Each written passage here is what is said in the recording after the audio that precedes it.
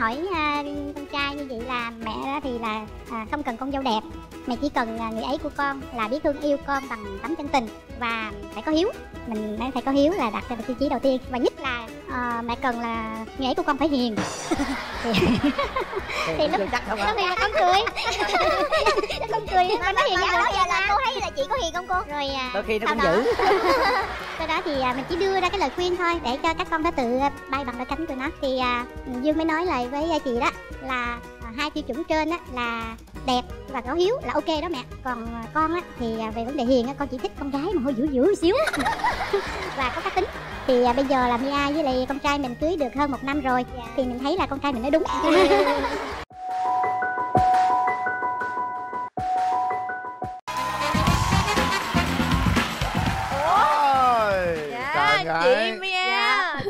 chờ ơi. chờ lên lọc. Dạ. Ủa mẹ nhắc tới mẹ. đây em hát một mình hả nha dạ đâu có em đi chương trình mẹ chồng nàng dâu. À, dạ. sao mà mẹ chồng em đâu?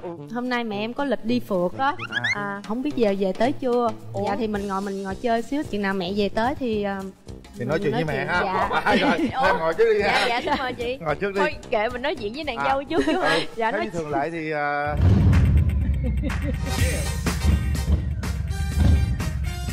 chạy xe vô hiếp trường vậy? Dạ mẹ em.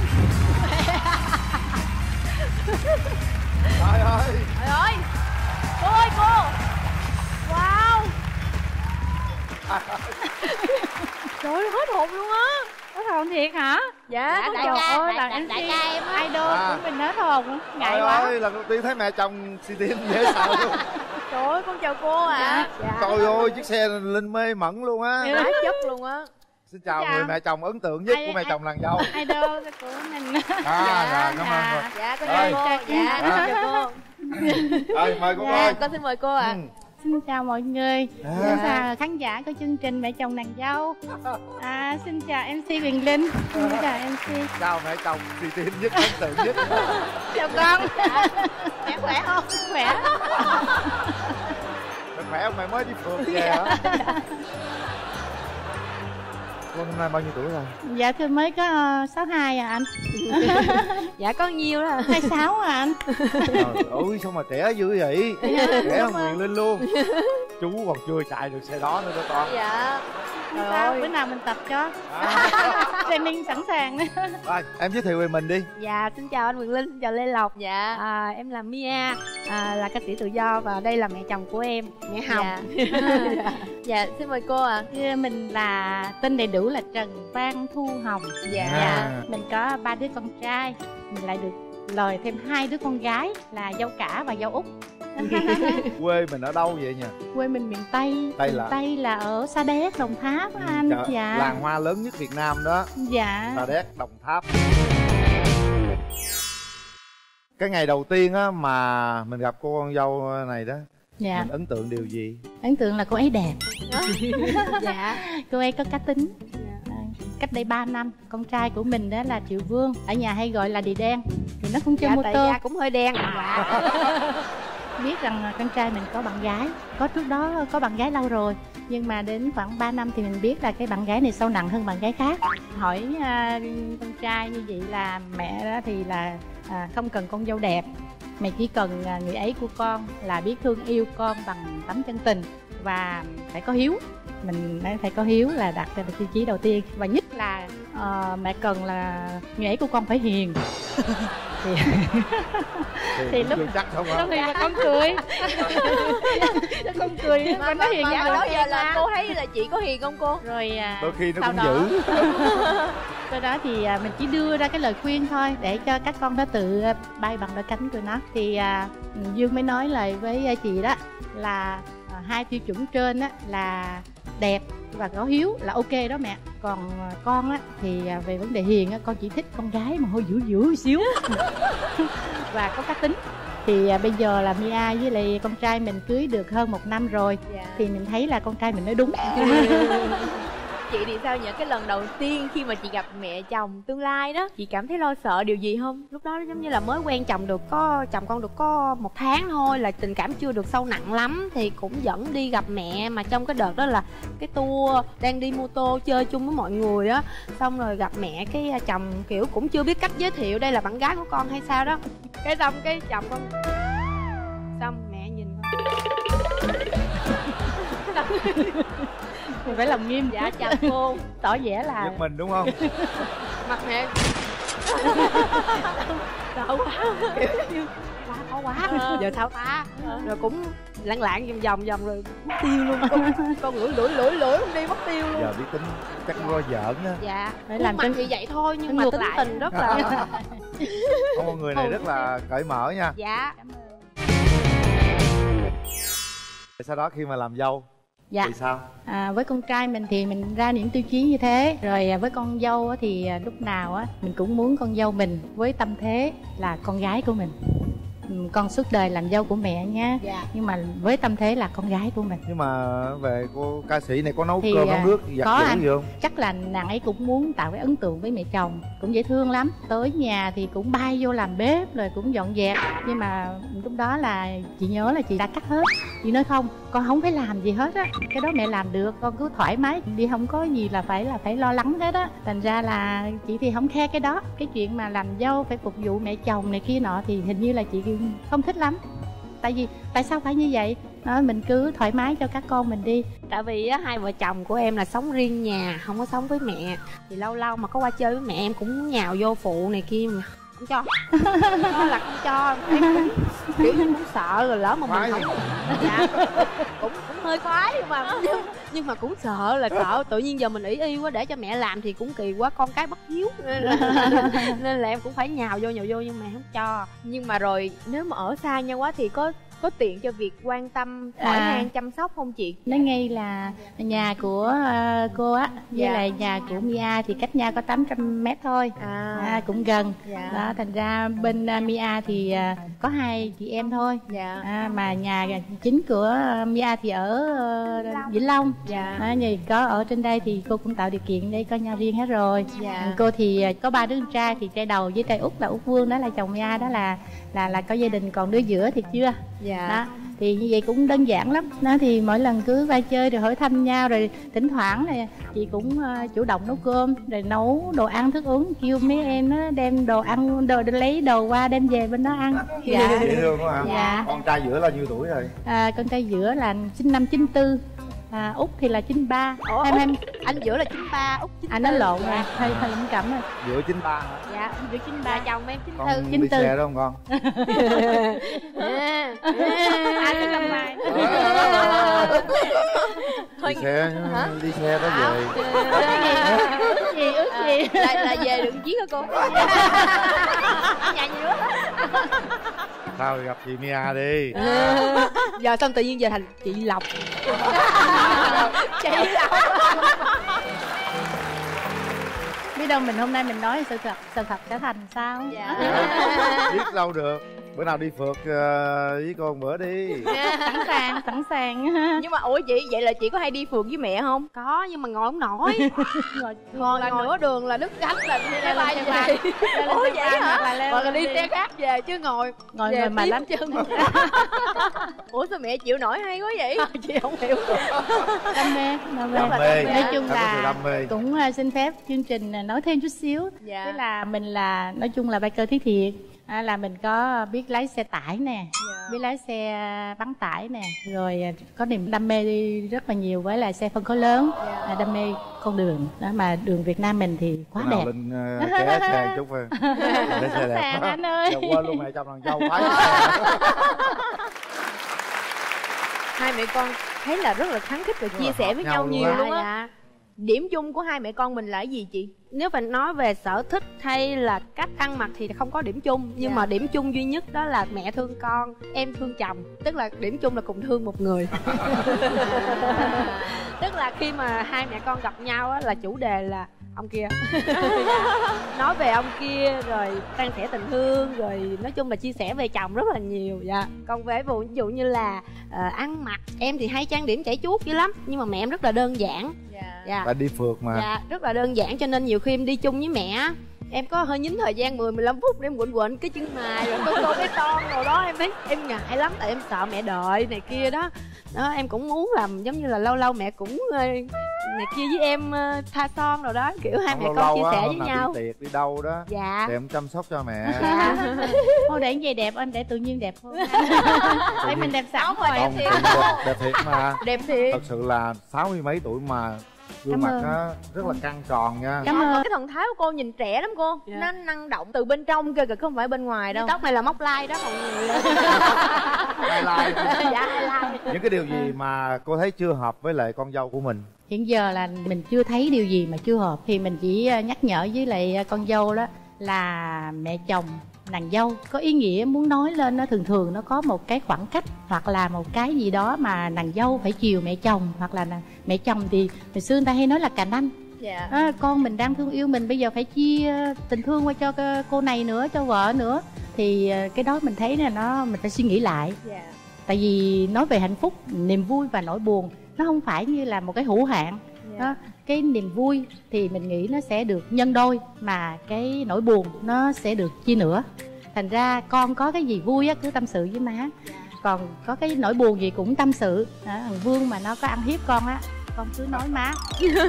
Hai má con mình là một phe à, quá dữ. Có sự kê rồi ha. Với chưa chồng.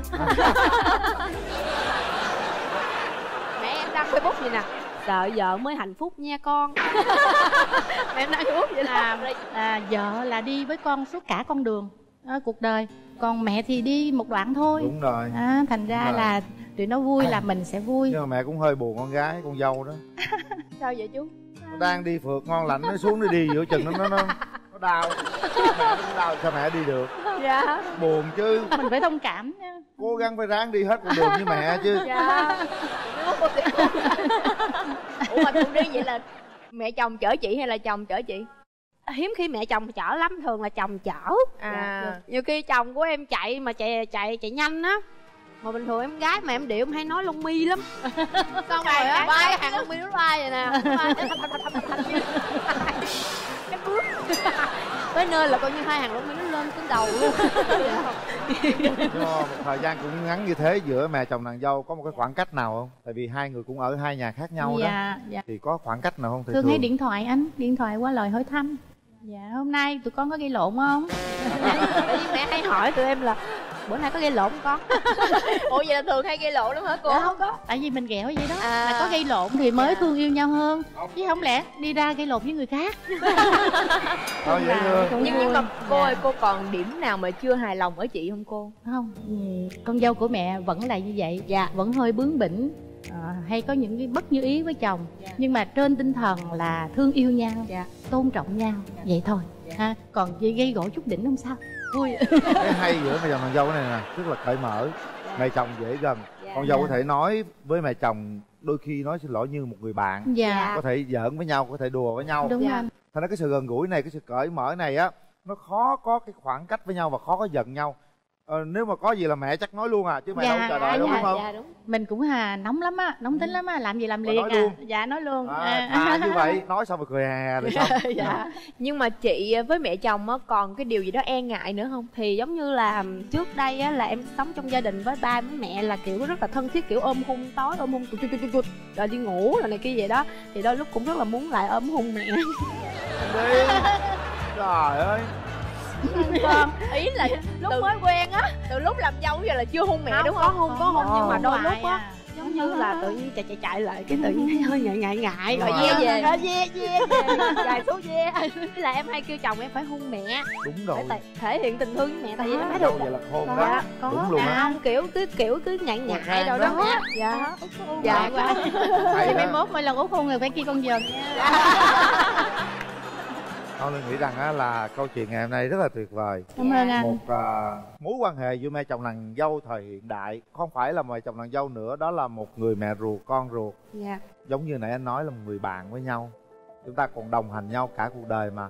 Không chỉ có 2 năm 3 năm 5 năm 10 năm một chặng đường còn 20 năm nữa. Nếu chúng ta như thế này cứ thoải mái cứ uh, phóng khoáng cứ chia sẻ thẳng với nhau thì sẽ không có những cái mâu thuẫn nào ta giữ trong lòng cả. Dạ. Chúng ta sẽ đến với uh, những cái sự chia sẻ của chồng nha nha. À vậy nữa hả? Vui quá vậy. Để coi nó có nói xấu mình không nha. Nó không dám đâu. Xin chào mọi người, mình là Vương, là con của mẹ Hồng và là chồng của Mia Cá nhân mình thì mình cũng không có thấy uh, vợ và mẹ có uh, xích mích gì làm cho mình đau đầu cả Tại vì uh, Ờ, hai vợ chồng mình không có sống chung với mẹ. Có những lúc đó thì uh, vợ cũng hay nhắc nhở mình uh, quan tâm tới mẹ nhiều hơn, gọi điện thoại cho mẹ. Cũng có những lúc là mẹ thường hay gọi mình uh, rủ mình qua nhà chơi Nhưng mà nhiều khi do mình tập trung vào công việc nhiều quá nên là dành thời gian nhiều cho công việc nên là uh, mình cũng hơi lơ là. Nên là cả vợ và mẹ đều giận mình chứ. Thực ra thì mẹ và vợ không có ai giận nhau hết cá nhân vương thì vương muốn mẹ và vợ có nhiều sự kết nối hơn. Thực ra thì công việc của vợ cũng đi nhiều còn mẹ thì cũng vậy. Mẹ thường hay đi uh, chơi đi du lịch cũng chỗ này chỗ kia nhiều nên là cái khoảng hai cái thời gian đó giữa mẹ và vợ không có khớp nhau nên là sự gặp mặt của ờ, mẹ và vợ cũng không nhiều. Vương cũng mong là sau này ờ, mẹ và vợ ví dụ những lúc mà vương đi làm hay là những lúc vương đi công tác xa thì mẹ và vợ có kết nối với nhau nhiều hơn để mà tình mẹ và con dâu thì càng ngày thấm thiết hơn. Thì thực sự rất cảm ơn mẹ và vợ đã dành những điều tốt nhất dành cho Vương. Và Vương thực sự cảm ơn hai người phụ nữ của đời mình định ghê ghê ghê ghê. Đâu nói xấu gì hả à, nói chung là câu chuyện hôm nay rất là đẹp dạ. À, và mong rằng nó sẽ đẹp đẹp hoài như thế luôn. Nay thì mẹ có muốn nói gì với mẹ chồng của mình hay không? Um, con mong muốn là mẹ Tết thời điểm này rồi điều đầu tiên là giữ sức khỏe. Cảm ơn con. Dạ tinh thần lúc nào cũng vui vẻ. Dạ. Mẹ đừng có suy nghĩ gì hết tại vì vợ chồng con cũng lớn hết rồi Thì con mong là mẹ đừng có lo lắng. Tại vì lo lắng là tóc của mình móc lai nhiều hơn Con muốn mẹ thật sự là vui vẻ, hạnh phúc, đi chơi thoải mái tại vì mẹ đã làm cả cái thanh xuân của mẹ để nuôi ba anh em cũng như là cưới hai người con dâu cho nên là con mong muốn là bây giờ mẹ hãy dành thời gian cho mẹ nhiều hơn để mẹ được à. hạnh phúc mẹ đi dạ. lắc ha dạ rồi. lắc cảm ơn con nha dạ. rồi mẹ muốn dặn gì con dâu không thì à, như nãy nói rồi là con dạ. dâu là phải à, thương yêu gia đình nhỏ của con dạ. chăm sóc chồng con không cần chăm sóc mẹ đâu không con thật sự chăm sóc cho gia đình con mẹ. là vui vẻ là mẹ sung sướng nhất là đó dạ à, thì không nhưng mà con con phải có điều kiện thêm. con chút xíu là mai mốt con qua nhà con rửa chén thì mẹ mẹ cho con rửa được không không không nhỏ ok vậy tay mẹ rửa là rửa thường rồi còn con uổng. Đâu có con nhà con cũng rửa chén mà. Tuyệt vời. Chúng tôi luôn luôn muốn thấy những hình ảnh mẹ chồng nàng dâu như thế. Dạ. À, gắn kết như thế yêu thương như thế. Chúc cho những hình ảnh này nó sẽ mãi mãi như thế nhé dạ. Cảm ơn à, và dạ. một kỷ niệm gửi tặng gia đình à, nói chung có gì có dĩa thôi. Dạ. để uh, nhớ mình có tham gia chương trình mẹ chồng nàng dâu. Dạ. Con cũng xin được thay mặt chương trình gửi tặng cô và chị một ít quà. Đây là ala bio với thành phần 5 ala được chứng nhận lâm sàng về hiệu quả tăng cường chuyển hóa đường thành năng lượng giúp ngăn ngừa và hỗ trợ điều trị đái tháo đường. Con xin cảm ơn cô và chị đã đến tham gia chương trình dạ. cảm ơn Rồi, cảm, ơn lên dạ. cảm ơn dạ, chương trình cảm ơn cô ạ. À. xin chào khán giả. Dạ đợi cô nẹt vô đi con mới dẫn tiếp được. Con mình cô biết chạy đó giận phụ không? Chào anh nha.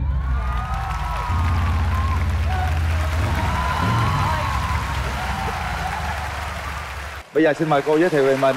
Tôi là Quỳnh Thị Trấn ở ấp Phú Thạnh xã Long Phụng huyện Dục tỉnh Long An. À cần duột Long An. Cần duột Long An. Dạ cô làm công việc gì? Hỗ trợ nhà thôi lớn tuổi rồi của nhà giữ cháu thôi à. Hồi đó làm gì cô? Làm ruộng. Làm ruộng nhiều xưa không? hồi xưa làm của ngoại để lợi tới làm tới 8 công đất. Trời ừ. ơi có làm dâu không? Làm dâu làm dâu cực dữ lắm. Cực luôn á hả? Làm dâu khổ dữ lắm luôn á. Bây giờ hết rồi. Xin mời chị giới thiệu về mình ạ. À. xin chào anh Huỳnh Linh và dạ. Lê Thanh Đồng dạ chào chị. khán giả. Em tên là Trần Thị Kim Ngọc. À, em ở quận 2 à, em 39 tuổi. Chị làm dâu của mẹ bao lâu rồi? À, được uh, khoảng gần 2 năm. Khoảng 2 năm. có hai năm thôi hả tôi có thằng này con phải một thằng trai thôi hai đứa gái thôi nó có vợ lớn rồi thôi rồi mới cưới à, dâu này là dạ. thứ hai à, cái ngày đầu tiên mà khi mà con trai cô dẫn cô này về ra mắt á thì cô cảm giác gì về cô con gái này? Thấy nó cũng được cũng đẹp gái cũng vui vẻ thì cũng được thì cũng uh, thích. Thích hả? À, tính tình được không? Tính tình được nó nấu ăn là cũng giỏi lắm. Vậy hả? Con ngày đầu tiên về là cảm giác thích rồi đó hả? Thích cũng tìm hiểu mấy tháng sau cái nó về nó nói cưới thôi cũng cưới. Còn cái ngày đầu tiên khi mà chị gặp mẹ chồng á chị có ấn tượng điều gì không? Run lắm rung hả? Sợ, tại vì lâu quá chị ờ, cũng đổ vỡ lúc trước rồi, nên chị về làm dâu có sợ lắm, không biết mẹ chồng có giống như mẹ chồng trước không? Tại vì mẹ chồng trước chị khó lắm rồi khổ lắm rồi không biết mẹ chồng sau này có có có có, có giống không? Cái tâm trạng có hồi hộp cái sợ lắm. Nhưng mà cái ngày đầu tiên đó chị có chia sẻ cái vấn đề là chị đã có một đời chồng chưa? Có chị có chia sẻ. Chị thấy phản ứng của mẹ như thế nào? Thì mẹ thì cái cười cười thì mẹ chồng cũng chưa có tiếp xúc chưa có hiểu được nhiều á nên cũng cảm giác em sợ chị sợ. Nhưng mà mặt mẹ phúc hậu mà thấy Sao? cũng đâu có giữ đâu có khó gì thì đâu. mới mới lần đầu về thì mới ngày đầu về á. Sợ. Mình đâu em đâu có biết là à. mẹ như thế nào. Ừ. sau đó à, khi mà cưới nhau thì về à, làm dâu đó thì à, mấy ngày đầu đó phục vụ như thế nào cô có thể chia sẻ lại được không? Ngọc này thì phục vụ thì ok được lắm giỏi nấu ăn được vừa miệng. Dọn nhà cửa này kia có phục vụ tốt không? Tốt quét nó dọn nhanh lắm nó làm lẹ đó. Những người trong gia đình có vừa lòng với cô con dâu này không? Vừa để mấy mợ nó ở gần nó cũng vừa lòng lắm nó được nó giỏi. Ồ vậy tốt rồi ừ. không? dâu thì coi như được nhưng mà có cái nó không được ở gần buồn. Nó cũng ở được mấy tháng đúng không? Ở có mấy tháng à. Thành ra buồn buồn chỗ đó thôi chứ còn nó làm dâu thì được lắm mẹ con thì cũng không có gì xích mích nhiều. Mấy tháng đầu làm dâu đó dạ. em có thấy áp lực gì không? Áp lực. Áp lực gì?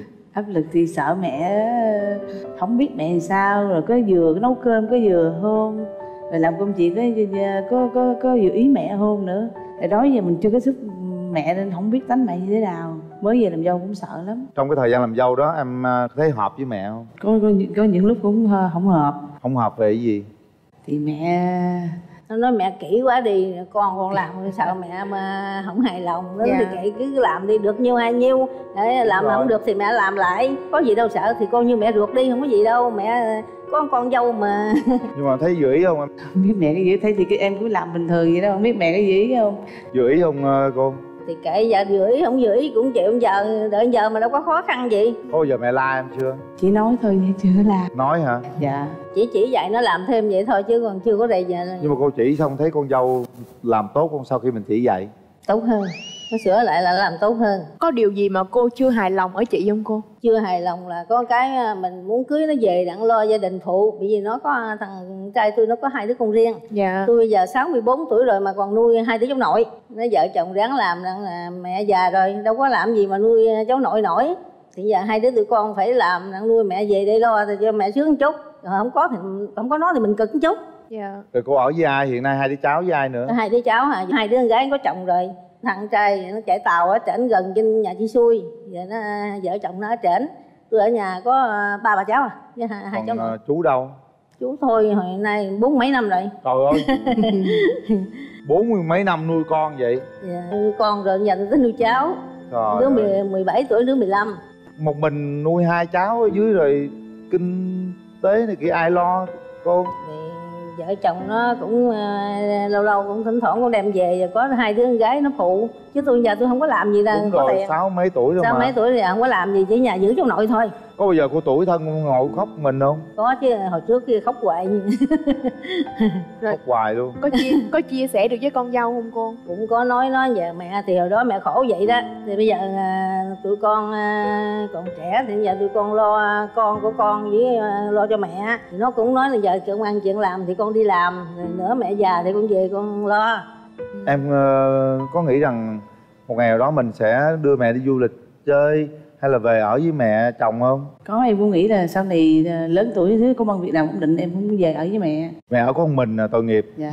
Một người phụ nữ ờ, lớn tuổi một mình trong căn nhà với hai đứa nhỏ kia lớn chưa cô đứa 17 tuổi đứa 14 dạ. người bà già không? Nuôi con xong giờ nuôi bà cháu. nội thương lắm. Ừ. muốn rước lên đây bà nội đâu có cho rước rước đi ai ở với bà nội? Hai vợ chồng chị ở dưới là làm công việc gì? Chồng chị thì ờ, lái tàu còn chị làm uh, tự do có gì làm đó cái gì đó. Ừ. thu nhập hai vợ chồng mình có ổn định không chị? Thu nhập à, chồng chị cũng ổn định rồi. Ừ. dạ. Mình à, có hai đứa con riêng rồi hai chồng được à, mấy đứa? Bé. Một bé nhiêu tháng rồi? Ờ, 7 tháng rồi. 7 tháng rồi hai chồng làm phải chia sẻ tới bốn nhân khẩu rồi. Nói chung hoàn cảnh cũng khó khăn ha. Dạ.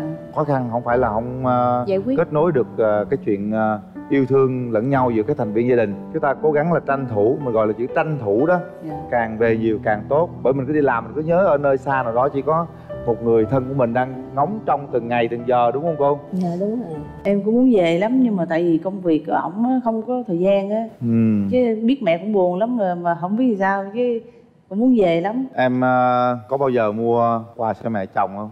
À cái đó thì em có nhưng mà quần áo rồi có mua cho mẹ. Mà mẹ mẹ mẹ giống như là hạt tiền nó mua để đó chứ không có mặc gì hết đó không có mua quần áo gì hết rồi bị đồ. Cũng hơi nhiều rồi nó mua cái còn mua mặc có mới con em nhà là ai chăm sóc? Em gửi bà ngoại. À gửi bà ngoại hả? Nó ở với bà trên bà xui. Này là gái lớn của chị xui. À. còn à. con tôi thì còn chồng nó là cũng trai lớn của tôi luôn. Rồi hai bà xui có gặp nhau nói chuyện không? Có á đám cưới xuống hai bà xui karaoke vui lắm. Hai bà xui hợp lắm. À dạ. Ca hát đồ. Cho em hỏi chút xíu là hiện tại là chị có điều gì đang lo lắng không? Lo lắng là lo cho mẹ thôi. Ở dưới một mình không có ai mà giờ công việc thì không có về phụng dưỡng mẹ được. Về cuộc sống của gia đình chị hiện tại chị có chia sẻ hết với mẹ không? Chưa chị cũng có lâu nói với mẹ thôi. sợ mẹ lo đúng không? Mẹ bệnh ờ, rối loạn tiền đình đó nhưng mà, mà suy nghĩ nhiều quá là vô bệnh viện rồi mấy mấy lần rồi. Những lúc đó chị chia sẻ với ai? Với chồng. Khi mình buồn khóc vậy ông có nói dài ở một nơi xa mẹ già ngồi suy nghĩ khóc mình. Ở một nơi đây con dâu ngồi suy nghĩ buồn bị stress cũng khóc. Vậy thì sao hai người không ngồi với nhau ôm nhau có thể khóc cũng được? Để cho nó vơi đi những cái khó khăn những cái mệt nhọc cái muộn phiền trong cuộc sống vậy có bao giờ hai mẹ con ôm nhau khóc để tâm sự với nhau chưa? Chưa. Nói là mẹ cũng muốn khóc con dâu cũng muốn khóc rồi đấy. Không có tâm sự với mẹ những cái góc khuất trong cuộc sống mình hả? Dạ không. Tại sao mình không tâm sự đi? Em ngại gì mà không tâm sự? Thì ngại. Mẹ con nhiều khi có hai đứa con gái nữa tâm sự có hai đứa con gái nữa À, mẹ ở nhà mẹ buồn. Muốn cho anh hai chị hai mẹ về ở với mẹ cho vui vậy đó. Nó lo mẹ cũng đỡ. Nhiều khi mẹ giờ có hai đứa cháu nội cũng không đỡ lo chứ thờ ở mình sợ lắm đó. Nhiều khi đau bệnh không ai. Đúng rồi. Chồng em đi đi hoài vậy đó. Dạ. Rồi những cái lúc mà khó khăn những cái lúc nào đó buồn có gọi điện tâm sự với mẹ không? Con bệnh thì điện thoại nói mẹ vậy thôi chứ không có tâm sự với mẹ. Phải thường xuyên hơn nữa. Theo anh là phải thường xuyên hơn nữa bởi vì anh biết rằng trong mắt của em vẫn còn những cái nỗi buồn những cái điều trăn trở mà không biết tâm sự cùng ai. Có cái điều gì mà cô cảm thấy thương chị và lo cho chị không cô? Con dâu mà thương lúc nào cũng thương hết nó vợ chồng nó thương con trai nữa nhiều khi nó đi ban đêm ban hôm mà với tàu với sông đó thành ra ờ, cũng lo. Rồi ờ, con dâu thì ờ, có mình nó thì giờ thương thì thương rồi nhiều khi nó không biết nó cũng không có dám mà, mà xin tiền thành ra nó không biết nó có đủ xài không mà nó cũng không có xin mẹ mà biết mẹ không có tiền nó không xin. Em bé nhỏ của mình hiện tại cũng khỏe hả chị? Cô- cũng bệnh hoài. Bệnh luôn hả? Nít. Hồi trước thì nó nó có bầu á là khám bác sĩ khám nói sợ nó bị bị bị đau bệnh đau gì đó. À, à, rồi bệnh đau. bác sĩ nó cũng khuyên nếu mà bệnh thật sự thật thì bỏ đi cái thằng trai điện về mẹ ơi. Chắc nhỏ chắc bỏ quá. Nó xét nghiệm riết riết riết riết sao mà bác sĩ để cho sanh luôn. Nó mang bầu mà nó chạy xe nó té là nó tôi lo dữ lắm luôn nó té ra đầu gối nó lát thôi mang mang, mang bụng bầu gần sanh mà té nguy hiểm quá. Dạ. Có lúc ba mà ba mấy tuần á, té còn của mỹ nó té xuống. Mẹ bà lo lắm mẹ cứ điện thoại hỏi hoài hỏi hoài.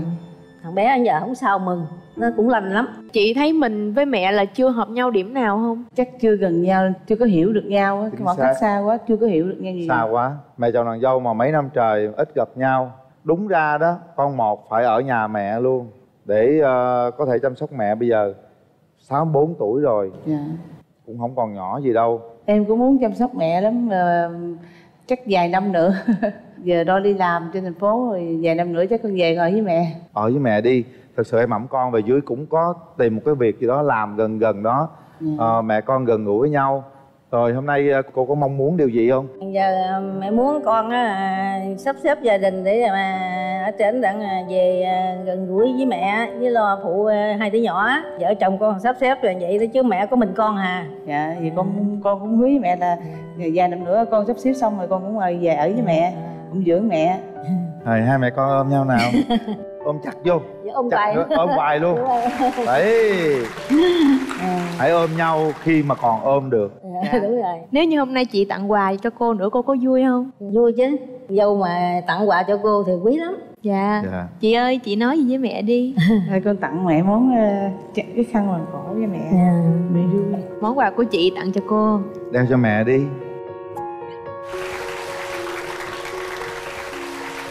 Cảm ơn cô à, Trời. gửi tặng một kỷ niệm à, chúc cô mạnh khỏe và mong rằng sớm có ngày gia đình chúng ta ở chung một nhà dạ. ăn chung mâm cơm dạ. chia sẻ với nhau chung một câu chuyện. Chúc cô mà mạnh khỏe nha. Dạ, cảm ơn uh, mc Quyền Linh với Lê Lộc. Dạ. cảm chúc ơn gia cô. đình mình hạnh phúc thành công hơn nữa. Dạ cảm ơn anh